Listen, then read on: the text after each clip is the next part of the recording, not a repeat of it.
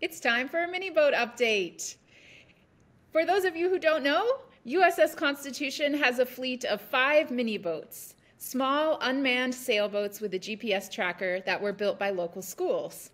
Our latest mini boat, Warrior, was built by third graders at Hanscom Air Force Base School and has just made landfall. Carl, I know when it made landfall, it's you know it's been 50 days at sea. It was launched by the Coast Guard back in July, and when it just made landfall last week, you were pretty excited about this as an experienced sailor and our public historian. Tell us why. Well, because Warrior has made landfall on Sable Island, which is truly one of the unique places on the planet. If you've never heard of it before, Sable Island is this lonely little sandbar out on the edge of the continental shelf, about 175 miles south of Nova Scotia. Uh, it's about 26 miles long, but it's less than a mile wide at its widest point. Uh, and because it's right there by itself in the middle of what had been busy shipping routes, uh, Warrior, um, you know, landing there is in good company with about a 350 some odd ships that have wrecked on Sable Island over the centuries.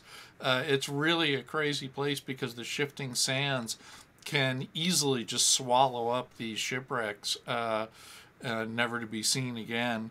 So it was exciting that the miniboat landed there. Uh, there's nothing on the island but a few park rangers. The whole place is uh, part of the national park, and some researchers for the Sable Island Institute uh, who live on the island. And the only other thing, there are some grasses and hundreds of wild horses that have been there since the 1800s. So it's a really cool place.